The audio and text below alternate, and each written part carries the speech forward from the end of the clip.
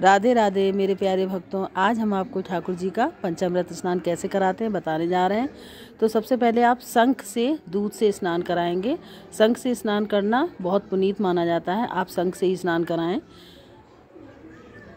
तो सबसे पहले शंख से आप दूध से स्नान कराएँगे। उसके बाद दही से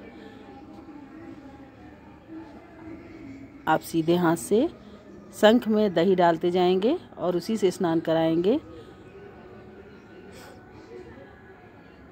इसके बाद घी से, घी हम दही के बाद ही डालते हैं, क्योंकि इसके बाद जो इसमें चिकनापन आता है तो बूरा से छूट जाता है। घी के बाद हम बूरा से अच्छे से ठाकुर जी की मालिश करेंगे, जिससे इनका सारा घी जो शरीर में लगा हुआ है, वो अच्छे से छूट जाए।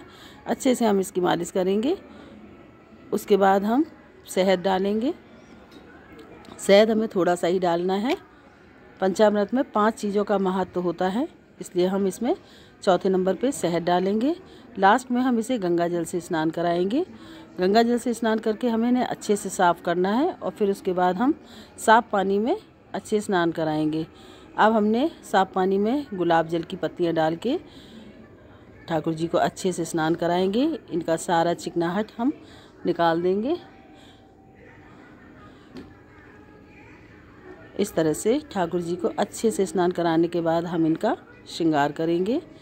और जो चार दिन का वास हुआ है, उसके बाद हम इनकी आँखों की पट्टी खोल देंगे और एक साफ़ तौलिया से ठाकुर जी को अच्छे से साफ़ करके बाद में इनका श्रृंगार करेंगे। तो इस तरह से हमने ये देखो ठाकुर जी को अच्छे से पोंछ दिया है। इन्हें सफ़ाई से पोंछ दें चारों तरफ़ से, जो चिकनाहट ना रहे। अब इनकी आँखों की पट्टी खोल के इन्हें हम शीशा दिखाएँगे। क्योंकि इन्होंने चार दिन बाद अपनी आँखों की पट्टी खोली है तो इसलिए जो भी इनके अंदर शक्ति आई है, वो सब इनके अंदर समा जाएगी, इसलिए शीशा दिखाना ज़रूरी है।